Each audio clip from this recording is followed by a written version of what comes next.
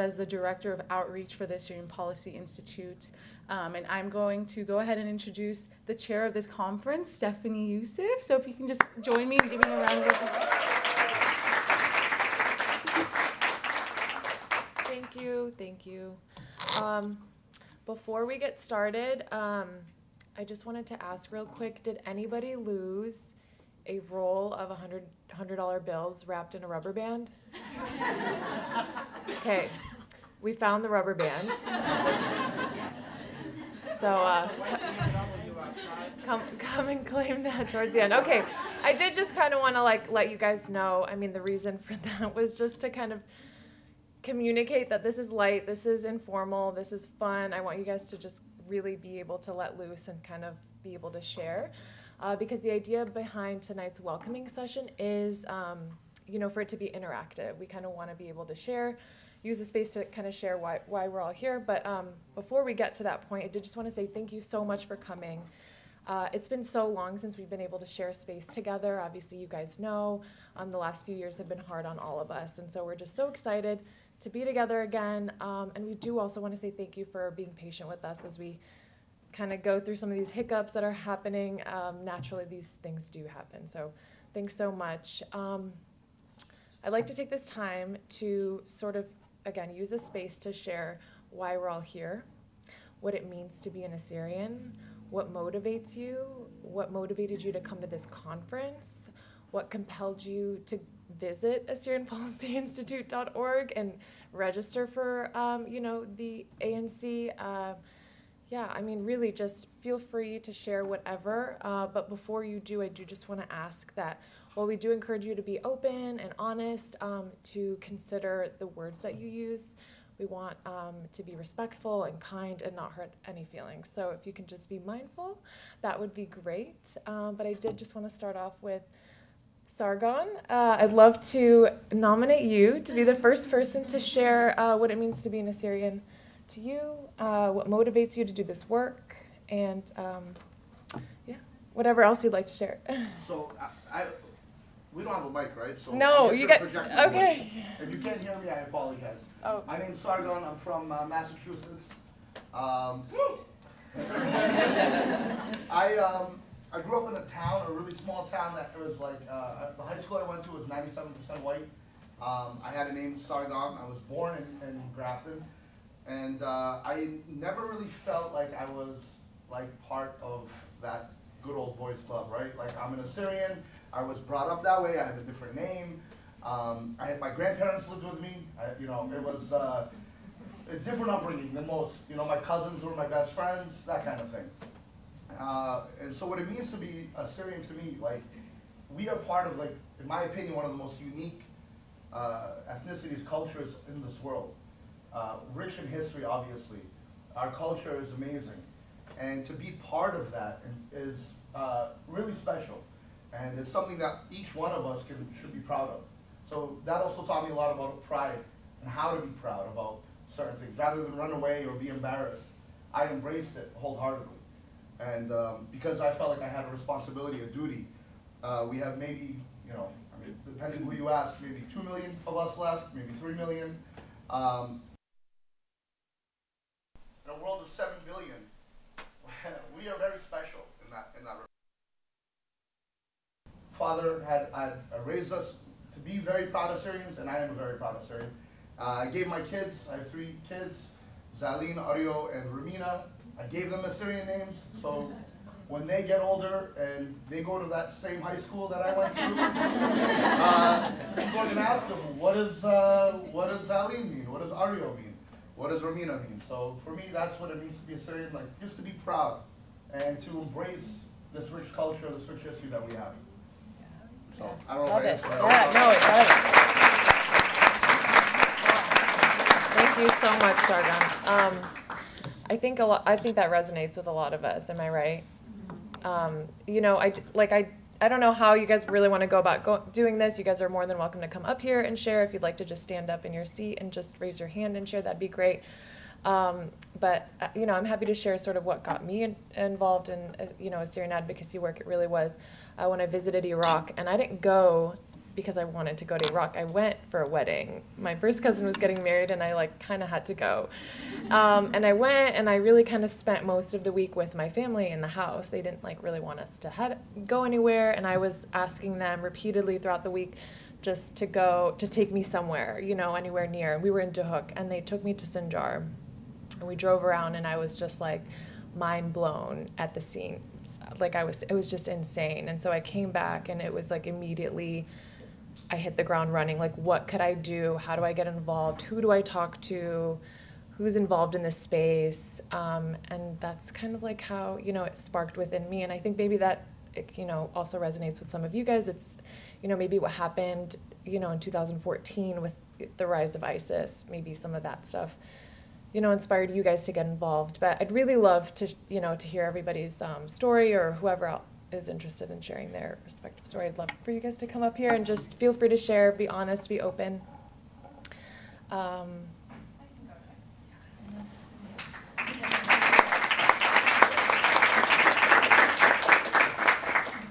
Our executive director of the Assyrian Policy Institute. Yes. That's dramatic. That's dramatic. Unnecessary. Unnecessary. Yes. Every, every speaker. Yeah. Okay, new rule, everyone has to come up to the podium because the camera guys said so. Um, thank you, Stephanie. Just really quickly, since you did mention I am um, the ED of the API, I'd like to take a quick moment to just thank Stephanie for her hard work in chairing this conference and bringing us all together. So thank you, Stephanie. Also want to give a shout out to Jamie Bahura. Uh, Jamie was the undisputed MVP of today's Advocacy Day, and it was really hard. It was really hard to get everything together, and she did it. So uh, in a weird hybrid format. Um, I also want to shout out Sargon Hanna for uh, putting together this banner. Just kidding. Uh, sorry. No, he's he's a great team member as well.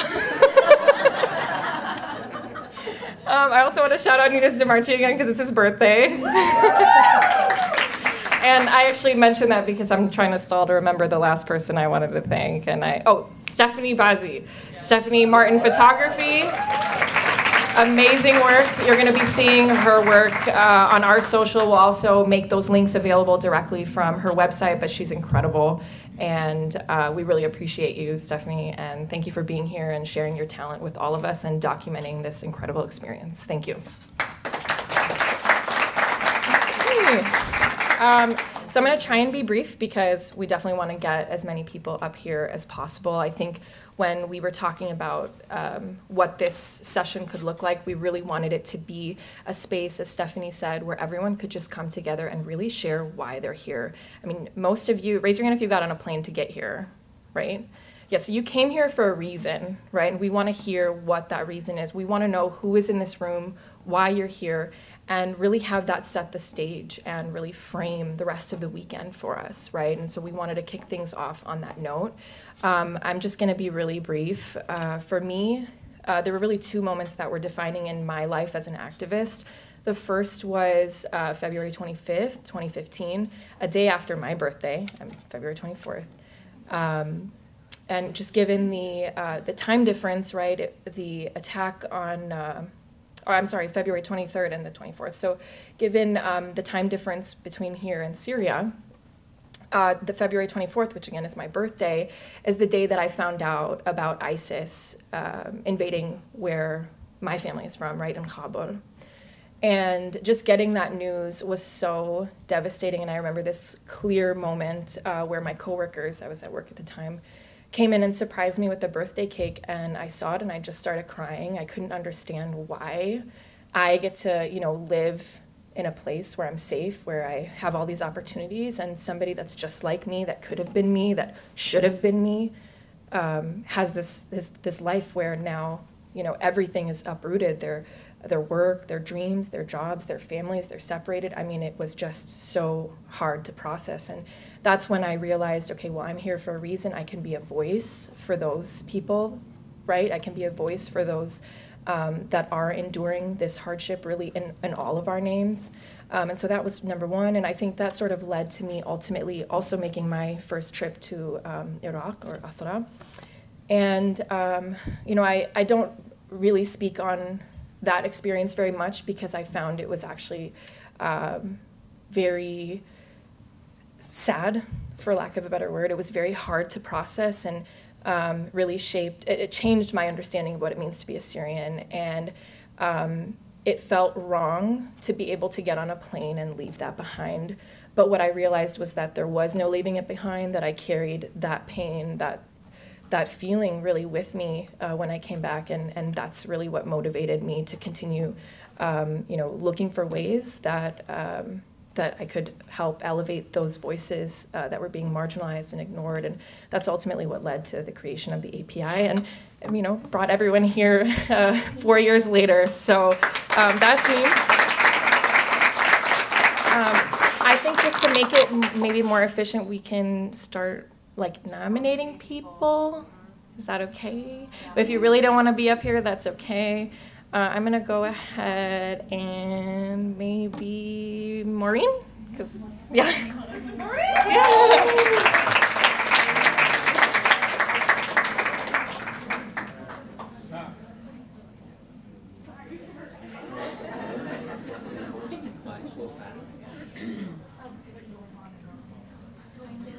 Hi guys, um, my name is Maureen Kashaba. Um, I'm from Skokie. Um, when I think about my Assyrian identity, um, I think of it as a journey, um, and a journey that I'm still on.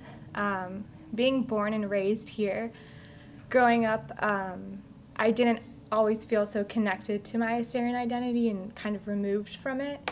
And as I've gotten older, and kind of how like Reine talked about in 2014, 2015, experiencing and seeing like what was happening to our people back home um, just like changed my entire outlook on who I was and um, where my people were, not just you know my family, but so far from me, um, and kind of geared me on a journey to learning about my history, um, how I can get involved, um, learning the language um, that I kind of ignored for a long time, um, and that's what led me here to be um, at the conference, to be an API, to um, volunteer in my community back in Skokie, um, and to continue learning my language and connecting with the Assyrians and furthering that journey to an identity that I hold closer to me than I ever did before.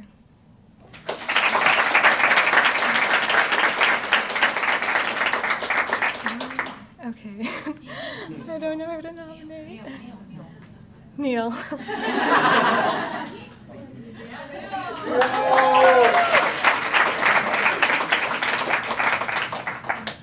Neil learned the difference between Uber X and Uber XL today. I did, I did. So I have major public speaking issues, so excuse me ahead of time for the mistakes I may make while speaking. Um, but what I think of, like like Murray, and I think of Assyrian identity as like sort of a journey. Um, growing up, I really just understood myself as an Iraqi of Christian background. My parents were very Arabized, coming from Mosul and Baghdad and all these other urban areas. So I didn't really understand what it meant to be an Assyrian. But as I grew older and I saw what was occurring in Iraq with 2014, even prior to that, I was very, I understood that people, our people back home were suffering. They were being persecuted every day. More people were being exiled.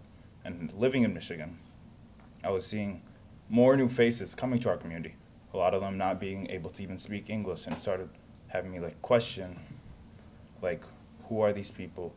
Why do I not understand a lot of them? They were speaking Surat. I don't understand, I don't speak Surat. And it made me really like have a lack of confidence in my own identity. But through this journey I kind of learned to understand that Assyrians aren't just one sort of shape.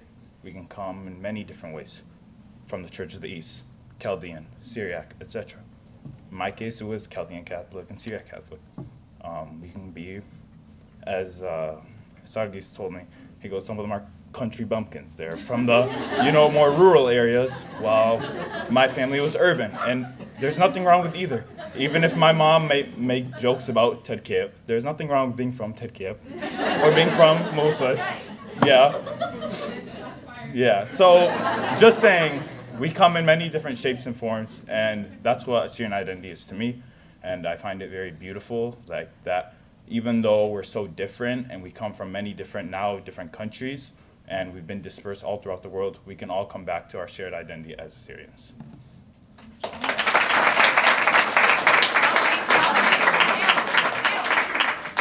Nominate somebody. Uh, Ramsden. Let's go, Ramsey!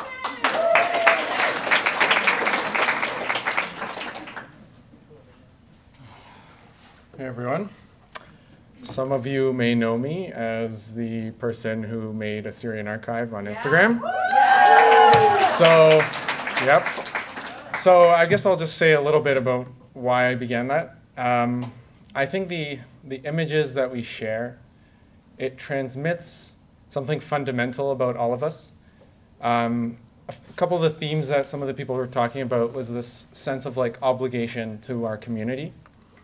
And I think that these photos, when we share them and we celebrate them, it gives us that capacity to feel Assyrian, right? Not just to say we're Assyrian or to even just speak the language, but to actually feel it. Um, and so the idea with the Assyrian Archive is to transmit that feeling to people who've never felt that before. And I think that with that feeling comes that obligation to help your community in whatever way, shape, or form that may be, whether it's language, music, art, etc. So that's the gist of Assyrian Archive, and yeah, that's it. So thank you. I will nominate Sedigus.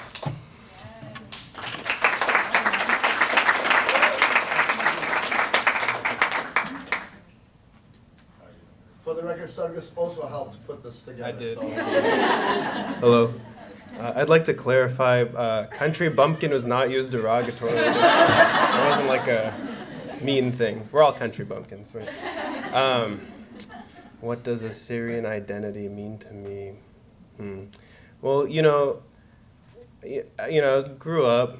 Uh, I'd hear a lot of stories from my grandparents, my parents, and you know, those are kind of the foundational things, right, that make you who you are, right? So, uh, eventually, when I grew up, um, I found myself in like positions where I could help my community, elevate our community. You know, I, I, uh, I love my culture. I love my people. So, I, I guess if we could help each other kind of grow the culture, grow our, you know, uh, our cultural production, as Sedgon said. Thank you for that.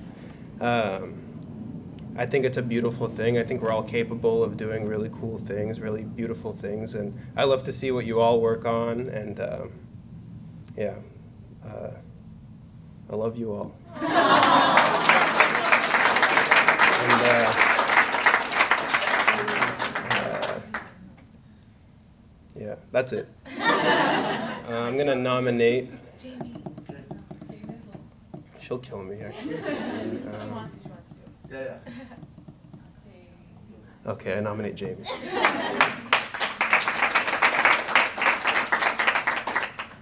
Hello, everyone. Uh, most of you had heard me talk today. Um, I am advocacy coordinator for the Assyrian Policy Institute. Um, I joined sometime last year, I think in August. Uh, for me, I think uh, I obviously, you know, share the sentiments of most of what the people here have said of, of you know the the impacts that our, our current histories have had, our recent history, I would I should say. Um, but I think for me, coming from Michigan, take from that what you will. What I'm Tilkapnatha, don't say anything. um, so my, my parents have a certain viewpoint. So I grew up, I think, not knowing what Assyrian was until I was probably 20. And so I grew up in a very isolated environment, just generally uneducated, uh, and not knowing what kind of the world contained, and that we had such large numbers of people that were just like us. And so for me, Assyrian Policy Institute, what, what really called me to it was that we have power in numbers, and isolating ourselves and dividing ourselves further really does us more harm than good. And so I love API for its mission of, of helping everyone and just being united, as united as we can, no matter our backgrounds, as Neil said. Uh, coming all together, you know, no matter what village we're from, what church we're from, uh, and expanding our scope because it's it's a beautiful thing that you can, you know, find from all corners of the country and the world people of your background. Uh, I've been to Germany in a random pub in a small town, and I met someone who was Assyrian, and it was really random, and I was still early in my journey of discovering that I was Assyrian. Uh, I lived in Dubai and happened to, you know, uh, be at a work event where I was paired with someone from Lebanon, and his last name was Jendu, and it was Jack Jendu, and I, everyone knows Jack Jendu, right? So I was like, this is amazing, and so it's it's a beautiful thing to be able to go to all these corners of the world and find our people there and have that you know common denominator with one another. So. I love advocating for, for our people and as a whole. I think it's, it's a really beautiful thing.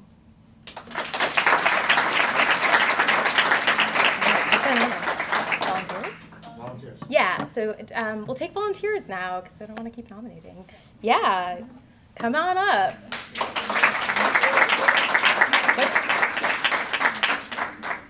Introduce yourself. Hi. Um, I'm Joseph Suleiman. I'm from Chicago. I go to Mar Gewargis. Um,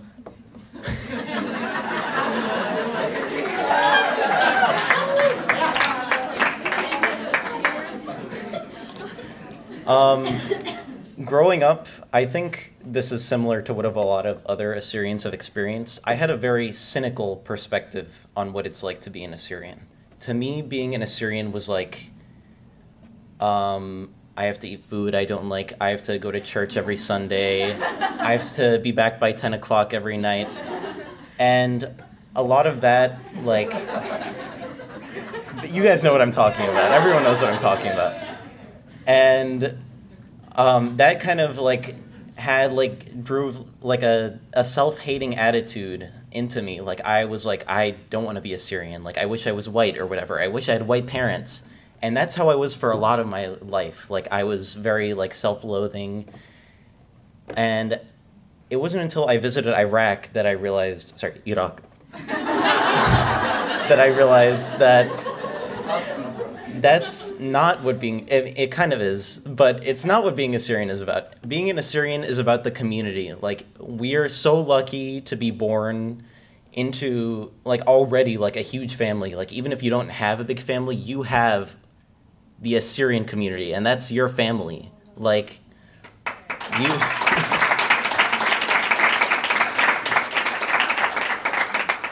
I can literally meet a stranger in the street and they'll be like, Are you Assyrian? And I can have a conversation with them. and I don't know, that's really cool to me. And being in Iraq, um, my father's aunt, I didn't really know her until I went, but she died and that was really sad.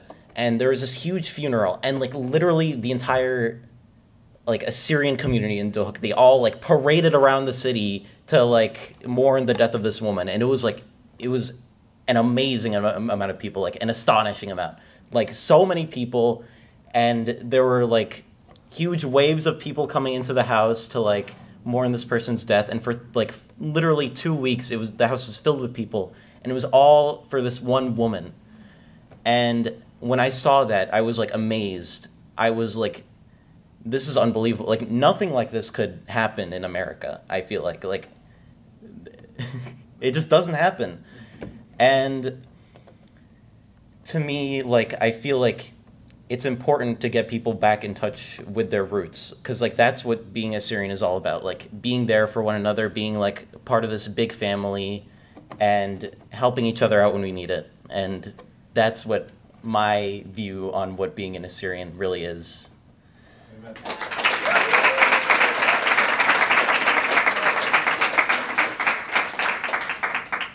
We'll just take volunteers. So raise your hand. Come on up. Yes. And then we'll have Renee go after you.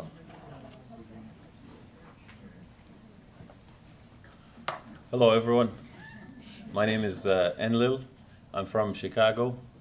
And uh, obviously, I'm here today to share with you why what it means for me to be an Assyrian. Um, what it means to, for me to be an Assyrian is um, growing up in, uh, I, I'm actually, I'm originally from, uh, from Khabur, from the village of uh, Telfeda, which is known for Nochiai.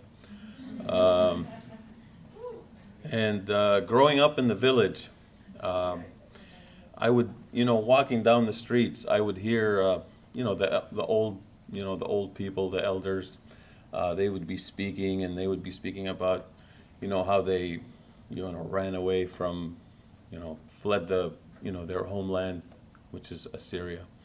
Um, and, and I always questioned that. I was, you know, how, why, what happened? I mean, what, why did you leave? And I would ask questions, you know, as a kid I was curious.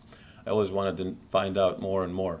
So, and they would tell me, you know, our, you know, our friends were killed, our family was killed, our, you know, some of them lost their children, some of them lost their brothers and sisters, and and and and ever since it, it stuck in my mind. I mean, that that always that you know image. I always imagined people running away, and it stuck in my mind. And and I always questioned why, um, you know, why wouldn't they? As a kid, I why wouldn't they revenge for something like that? Why wouldn't they go back and, and take back their land and home? And so, but obviously, I don't. I found out when I grew when I got older. I found out that it's not as easy as I thought. Um, so that you know that's always kept me um, curious to find out what really it means to be an Assyrian, because I wanted to know why am I you know why are we in in foreign countries like for instance in Syria. Um, you know, we go to, to government places and they would speak in Arabic, um, and that was always, we would call them Nakharai. Um, so, you know, I always, again, questioned that. There were many questions to me. And, and even, you know, here in the United States, obviously it's a great country and one can feel, you know, a little bit more, uh, more free or maybe a lot more free. But, uh, you know, it's still, um, you know, this is, we, we have, you know, what it means to be an Assyrian is basically for me is that I have a land that has been that has been occupied, you know, by the uh, by the occupiers, by the.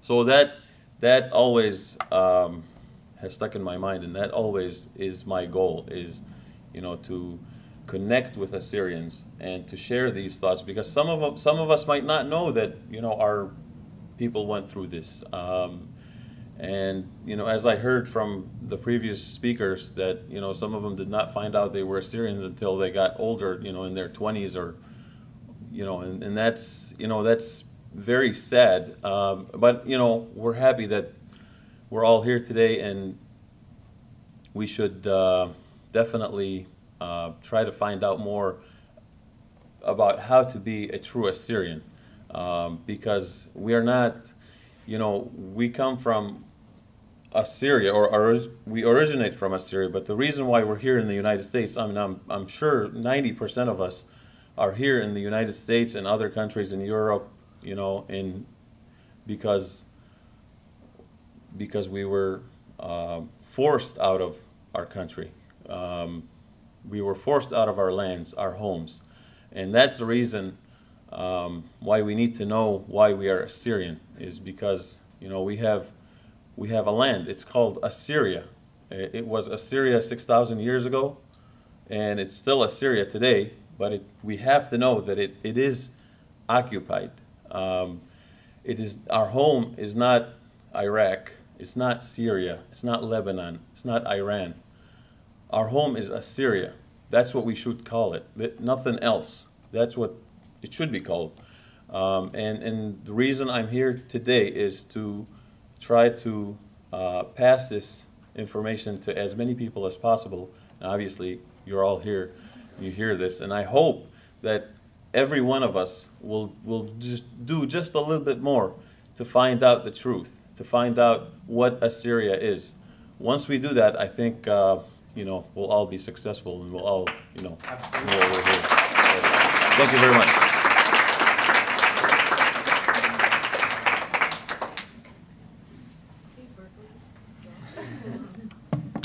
Hello, I'm Tanis. Um, I'm from Orange County. It's next to Los Angeles, uh, California. Um, I'm recently the founder of Assyrian Chaldean Syriac International Youth Organization, AXIO.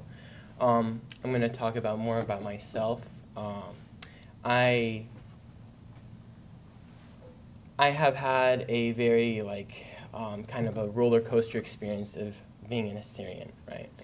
Um, growing up in a predominantly, like um, many people here have said, um, you know, predominantly white community, um, and especially post 9/11, many of my feelings towards being an Assyrian were kind of, um, kind of, um, in a, were, were very negative. And one thing that kind of drove me towards that was not only was I in a place, unlike um, in some places where it's more, where there are more Assyrians in an area, I was kind of more isolated. And one thing that kind of struck me, I would always tell my parents is, if Assyrians, and this is back then, if Assyrians were so great, if our people were so strong, how come so many few of us are left?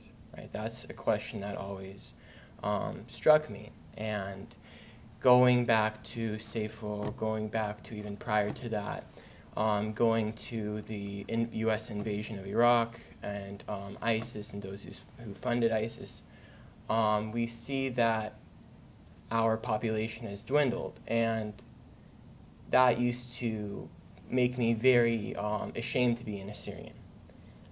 But what it means to be an Assyrian transcends the name Assyrian. It transcends the borders. We, what Christ says is he says, when you, one, two of you gather under my name, I am there. When we are all here gathered, Assyria Atra Nakhara, Atra is here. That does not mean, that does not mean we, we don't fight our occupiers. We don't fight for, just like um, many others in, our, uh, in, the middle, in the Middle East, we fight for our land because we were there. Um, but it transcends it because we are a community in Christ. We speak, we have carried the cross of the language that he spoke for so long, which is just, if you look at history, that language is not preserved like that. Language is very, very new in many, um, in many languages. Um, this is a very phenomenal thing we have accomplished, and that and the fact that we have been one of the first people, non, non-Jewish people, to convert to Christianity. That is something that transcends names or anything. We are something very unique. And so that makes me realize that no matter how many, how few, um, how few in numbers we are, that doesn't matter. We have community in those who speak, those who may not even use the term Assyrian who call themselves Aramaeans or call themselves Syriacs or call themselves Chaldeans, refuse themselves to call themselves Assyrians in any way. We still are in solidarity and in community with them because they speak the language of Christ. They are in community with Christ. So our numbers are only grow, will grow stronger when we recognize that it is not just names. It is, although Assyrian is important because we have a history of Assyria, we have a long history of that. That does not take it away. But what is more important is now.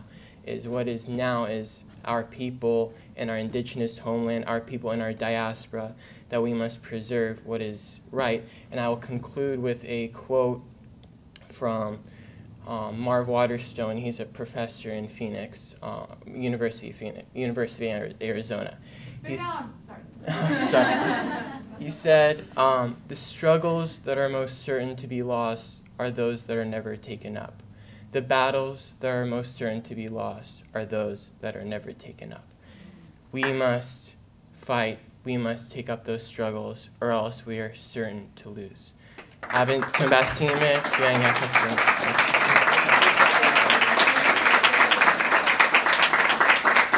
Hi everyone, I'm Faith. I'm from the best state in this country, aka Michigan. Uh, loud and proud Tilkipnitha. Just saying. so um, I feel like a lot of the sentiments already shared are, are pretty pervasive for all of us, and I don't want to be like a broken record and repeat what's already been said, but I do think that like a lot of what Jamie said I resonate with too, because I didn't grow up particularly nationalistic. So uh, for me, culture was food and language and different things like that. And as you like explore more and learn about what the ethnicity is, you realize like, oh, there's all of this extra history that you do need to know, but what differentiates me from like if you know Metro Detroit, it's a very immigrant heavy community. So um, like the Albanian community lives in close contact with us, the Polish community, and I'm surrounded by all these other people. And for them, culture is also food and dance and language. And looking at them, their American journey is so different. And you try to juxtapose ours with theirs and you realize it's because they have a country. When they're like performing identity in America, they can perform it as dance and food and things like that because they know they have the guarantee that that culture is being reproduced in a homeland. And so they don't have this sense of urgency that we all have and i think that defines my di- diaspora story is this word urgency. Because that's what it is like you watch these subsequent like displacement instances, whether it's genocide, whether it's like internal displacement and not, and like slow genocide, which is if you start to look in the, into the, like the historiosity of it, you realize it's one long genocide with slower periods, faster periods, and it varies in that way. But when you start to like look at it that way, you realize like, yes, I, I'm a member of the American diaspora. I'm like separated from this country and um, what Reine said like resonated with me a lot, like this this guilt, which I think is deep in every single one of us, of like I'm here. What differentiates me from who people who didn't immigrate, like my parents immigrated in the late 70s, and what differentiates me from them, and it's luck because that's what it amounts to. But given that luck, for me, like what it means, if we're talking about definitions, it's what you can do with it. It's not like luck is what defined our path, but it doesn't like define like define define defined the like specific type of path that we could take, but not the future that we could take on that path. I'm not sure if I'm articulating that as, as well as I want to, but it just means that like our roles would look different. So going on GSRU this past March, I, I feel like that um, was really like reinforced for me too because then like I'm meeting people on the ground who are my age, like you know early 20s, and it's like, wow, like now now like I'm I'm cementing that same sentiment now of like we have different roles whether in diaspora, but I think. I, a lot of it was really sad. Like going through Tel Keppe was was pretty heartbreaking for me, um, especially like when you compare it to Alqosh, which is like still has a population of like Syrians there, and that's just not as existent in Tel Keppe. But I, I feel like it also had a necessary amount of revitalization that I think everybody should take this trip because then you you can see on the ground what way that you can most effectively impact the situation even if you're all the way in diaspora. So I think that long tangential explanation was just for me to say that like it looks different. Our stories and trajectories are all different, but the cliche of united under the same banner can all uh, Absolutely. you know, yeah. create new definitions.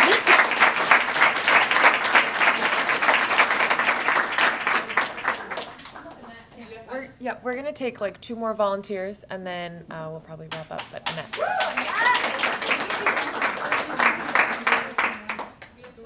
Hi guys, for those who don't know me, I'm Annette David. I'm from Chicago. If I had a dollar, for every time I had to explain why I'm not Syrian and Assyrian.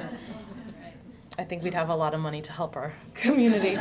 Um, I'm going to make this one quick. Um, firstly, thank you all the organizers for putting this together. Why I'm here, duh, this agenda is amazing. So thank you for everyone who, who set this up. Um, I too, like everyone else, have a lot of pride. Um, but one of the things that was, I think, lacking in my life was contributing. And I think we can all bring different, different pots of Assyrian food to the plate, to the table, right? Not all of us are going to be as awesome as Reine. Where are you, Reine? Where'd you go? Where are you? You're awesome. Not, not all of us are going to be as awesome as you or the other people who are politically involved. Thank you so much for being able to do that because I could not do that. Um, but what I can bring to the table is a technological bridge between our language. And um, for those who don't know, I think a lot of you do know, I'm trying to bring Assyrian onto Google Translate. And I know it's very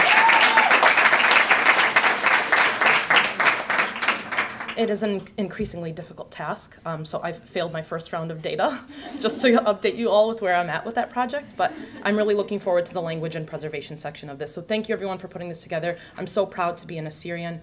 Um, Sargon, like the, I, I resonated with what you said earlier. It's so much pride, so much happiness, and so much love in this one room. So thank you everybody.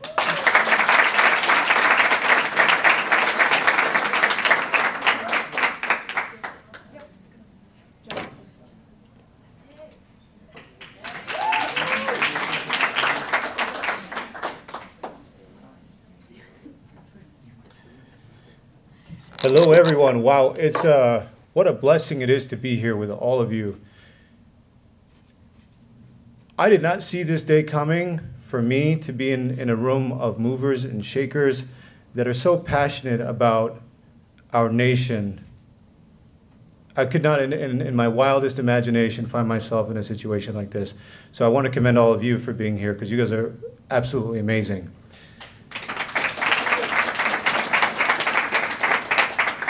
So I grew up in a, in a predominantly American neighborhood, and I was kind of like the outcast because I loved Surath music and Arabic music, and I was like firstborn child, boy, you know, huge responsibility of immigrant parents. And uh, I grew up with my grandparents a lot, speaking Surath. I speak Surath better than my siblings do, obviously. um, I mean, I go to school with my, uh, with my Walkman, you know, with a cassette player. Seriously. You know, and I'm, I'm listening to like, started going, and like um, to the American kids, I'm like, you know, they're like, what the hell is that? So I was kind of like an outcast. And then I went to high school and met up with other Chaldeans. We have mainly Chaldean identifying Chaldeans, you know, um, West Bloomfield area, if you know like how that works. I'm sorry? Yeah, no, to- totally, totally. But you, I won't go there. We don't, have, we don't have that kind of time. But, uh, but I didn't fit in with them either because I was kind of like too whitewashed. You know, it was really, really interesting. They're like, man, I really want to meet some people that like care about the culture, want to do things, you know, and not have this kind of Guido image that uh, that Chaldeans can kind of can kind of be in Michigan. Straight up, I'm to call it as, as it is. It, it, it is that way. Um, and I was kind of disturbed. I'm like, we have the Egyptians get an entire chapter in the history book. So do the Greeks, but the Assyrians and Babylonians get like half a page. Yeah. I'm like, how the hell? Who are making these books? um, what it means to be Assyrian, I know I went in like so many different places, but um, uh, my roots is what's so important to me. I was born, I was identified as a Chaldean for a long time um, because that's how we were, you know, just made, you know, labeled and, and whatnot until I dug really deep into the history and met uh, people like Chris and Rena. Um, and uh, we were deepening our knowledge together and connecting with amazing people like you guys. Um, urgency and emergency, I heard so many times from other people's accounts, and, and it couldn't be any more urgent. Um, to think that if we don't take action now, we might not have a place to call a homeland is alarming. However, when I'm in a room with so many inspiring people, with so much intelligence in so many different areas, if we can collaborate together and support one another, there's, we can move mountains together. And that's absolutely magical. I know. and faith, this is not a, you know, we've been, we've been joking around all day. This is not a personal attack, but I, dis- I sort of disagree on the whole luck part of it. I don't, I don't think it's luck that we're all here together or that our families had emigrated. I think that we are so much more intelligent and powerful having had uh, been forced out of our country to come here and get degrees and be in safety and have um, the, the, the, the uh, security of the passports that we have. We're sort of untouchable. And we can do a lot of things from here that we would not have been able to do had we been um, had we stayed back home. So I think it's something cosmic has aligned us all here together for whatever reasons with uh, our individual superpowers, and we're going to make something incredible happen. So, thank you.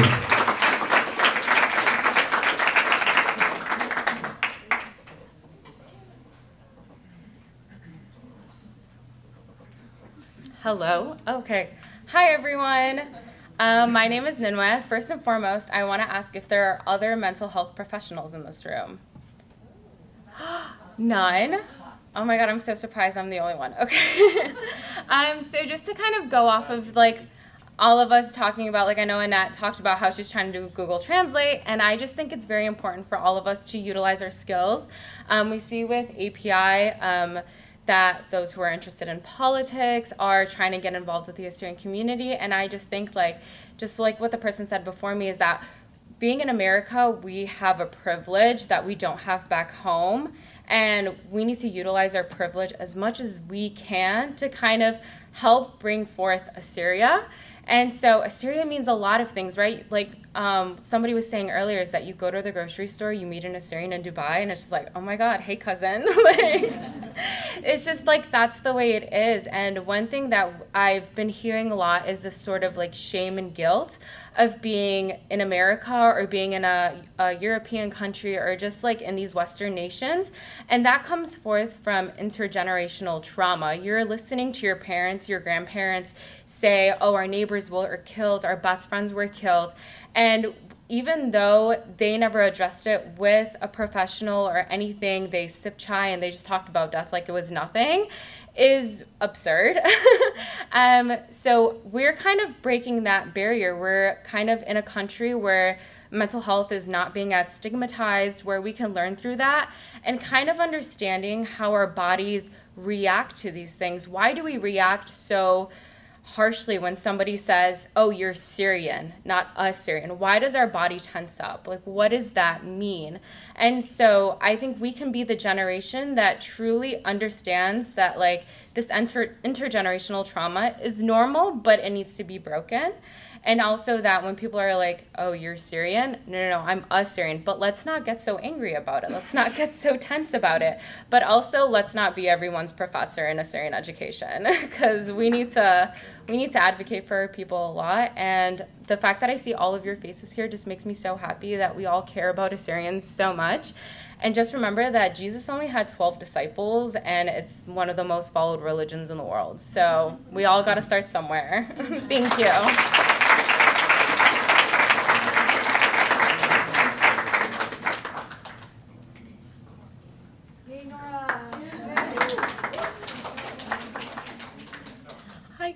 Um, so you can probably tell by my accent that I'm not American. Um, but I've been in Chicago for the last uh, couple years now.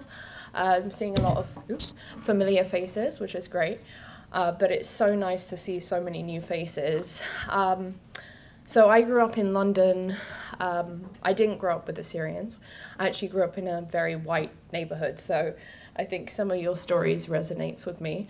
Um, my parents were always very umtanaya. They spoke Assyrian at home with us. Uh, but I guess growing up, I kind of just identified more with an English culture, didn't really know what it meant to be Assyrian yet. I always loved the music. I went to my cousin's wedding in Chicago, which was the first time I'd seen so many Assyrians, and I loved it. Um, also can relate to having a Walkman with Assyrian music. I think it was David Simon was my first tape. Um, yeah, and I guess 10 years ago is when I started mixing with Assyrians. Uh, my first event was a convention, um, the American Federation, and I was just so excited because I'd always wanted to make Assyrian friends. So, what does Assyrian mean to me? Um, I think it is just being all together is just so encouraging. It's when you mix with a lot of different nationalities, different people. I remember growing up, I felt out of place, but I didn't know why. Um, it was the same thing. I was not white enough to be white. I wasn't Assyrian enough for the Assyrians. So it's it is a difficult line that we walk. Um, um, went to Atra for the first time in 2018, and that really changed my life. Um, also, professionally, I started working um, on documentaries about Assyrians, and I think the most important thing is for us, and I think some of you have already said it, is to contribute in any way that we can. I was just very blessed that I was able to work in an, in an arena where I can speak about Assyrians, uh, pursue the Assyrian cause. And I think if we all just bring our special characteristics, our personalities, our expertise, and we try and move the community forward in any way we can. And these kinds of events and having this unity is so important, and it's just it just makes my heart glad, and I'm sure so many of you feel that way too.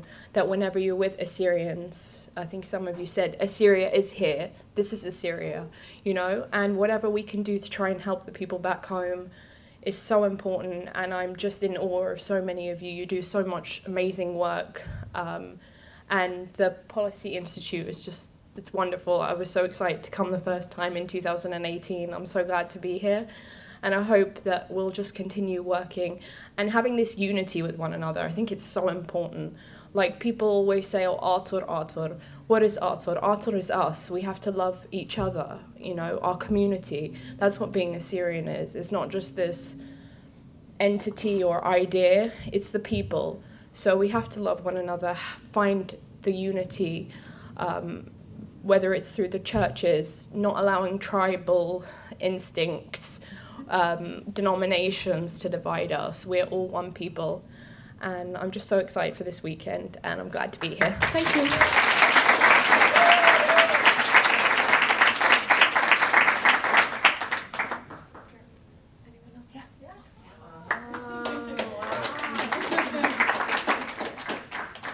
This is really nerve wracking, but I thought a Canadian should represent. um, so, yes, Canada, um, Ontario, Greater Toronto Area. Um, but I've had, I'll keep this brief, but I've had quite a journey with my Assyrian identity. I was born in Iraq and lived there till about 10 years old, and then I moved to Syria for two years. Um, so I have a little bit of my Arabic is really bad, but it's like a mixture of both. um, but I, and then I moved to Canada, and I sort of, the second I got there, disassociated and was like, Assyrians don't want to be part of that. I want to be Canadian. I want to be white. I want to be all these things. And um, it wasn't until, I want to say like university when I met Imama and Myrna and Sam. I don't know where you are, but somewhere. Um, and that's when I joined AXU, which is the Assyrian Chaldean Syriac Student Union. A mouthful, but it's a great organization, and um, it's I'm part of it still to this day, many years after university. But um, that's what kind of awakened this sense for loving being Assyrian again. And I think it was something I took for granted while I was in Iraq because I was around Assyrians all the time, and what like everyone knows what I well the Syrians knew what it was, but um, and Tel Keppe actually, that's where I'm from, Tel Keppe. Um, yeah, um, it's my Rekanaya side, which I don't know if anyone, when I say Rekan, no one, yes, okay, hi. Um, okay, but you know. But I know Okay, nice. Um, and Eshita, because I'm also half Eshnafa. Setting to be exact, if anyone also knows. Beautiful. Um, but anyway, I, yes, in university, that's when I really started getting involved. And then four years ago, came here again, or for the first time, sorry, um, to the last convention, um, or conference, sorry. And that's when I met a lot of people here, and it's been so nice. I was fangirling a lot because I'd like listened to the Assyrian podcast and heard about Savino area, and I came up to her and I was like, "I love you." Um, it was really funny, but I hope you weren't weirded out by that. But um, yeah, it was when I learned about the work of a lot of really, really cool people, and especially academics because I love um, academia and education and it just reignited. We all left and we were like, we need to do something similar in Canada. Like, why isn't there a big community there? Because our numbers are very small compared to here. But uh, it was really, yeah, it was just ignited this fire in all of us. And um, since then, I have learned so much more and gotten involved in a lot of different things and it's been so so nice coming back here um, but the reason i'm here is actually kind of had to ashamed of this but force myself to come because i have been living in montreal which is a different city there's like the census says 200 assyrians I have not met any.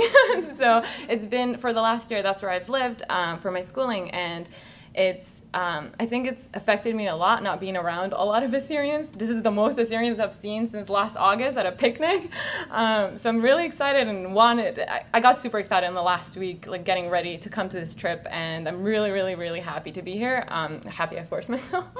Um, just being very candid, but yeah, super excited for the talks and to just meet and talk with all of you, and yeah, just that's it.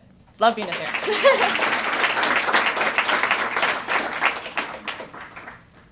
thank you so much um, to everybody who came up to share. Um, just judge it, just seeing the number of volunteers come up and wanting to share their stories. I think, I think there's like something really cathartic about that release, right? Being able to share and being able to just like have that moment with somebody else and. Um, you know, I think it's sort of this conduit to celebration, right? I think we've all been able uh, we've all had the opportunity to really speak our parts, and I think the best part about this weekend is the fact that we get to really celebrate being Assyrian, right? And so it's nice to take this moment to reflect, but I think really um, moving forward, we, would love to just focus on how great it is, right, to be Assyrian, how much fun it is, how positive it is, um, despite how negative it can seem and how sad it can seem. I think there are so many really, really amazing things about being Assyrian, and so um, with that, I would like to wrap. If there's um, any, you know, whether Reine or Otto would want to come up and say some last words, um, our executive director or our vice chair would like to share something, um, please feel free. But I think we're going to wrap up here um, in just a couple minutes. Reine, uh, sorry. The only other thing I'll say is if yeah. you're taking photos, please post them, tag us, give people FOMO,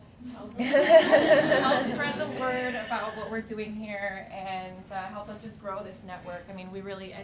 We're so blown away. I mean, just being in this room and, and the fact that like we're going to share this space together. So just if you can help us uh, yeah. spread the word, that'd yes. be great. And uh, yeah, that's all. Yeah, so thanks you, so much, guys. See you tomorrow morning. 8 a.m. Yes. is breakfast. 9 a.m. sharp we start. There's no Assyrian time tomorrow. 9 o'clock starting. Thanks so much, guys.